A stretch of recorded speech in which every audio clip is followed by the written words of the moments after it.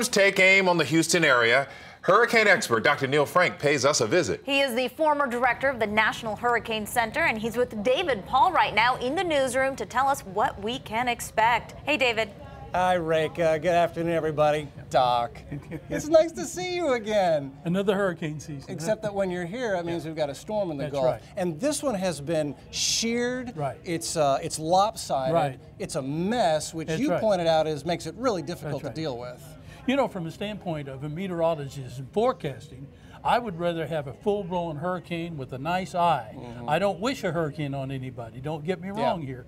But it's much easier to forecast that system than this. It's just a big mess out there. And the problem is, it's got the potential for going ahead and strengthening mm-hmm. and doing something that could do some damage. As far as the threats right now, right. as it stands, the way the storm is right, right, now, what is the biggest threat to wherever the storm passes at? Well, you're going to have a lot of rain with this system. Yeah. There's no question, and particularly over on the east side.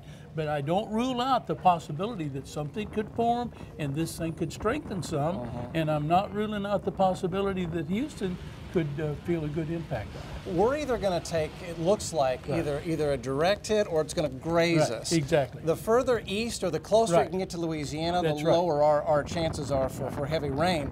But even some of the later model runs indicate some of that rain may That's wrap around to the west side. So, right. Yeah, we're not out of the woods by, by any means. Okay, Doc points out there are a lot of questions with how this is going to play out, and there's still a lot of uncertainty with it. So we're about done here, but Doc's not done.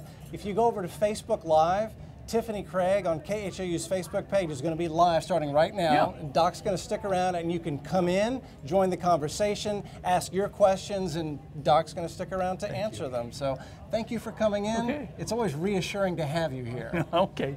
really appreciate it. All right, guys, back over to you. All right, thanks, David.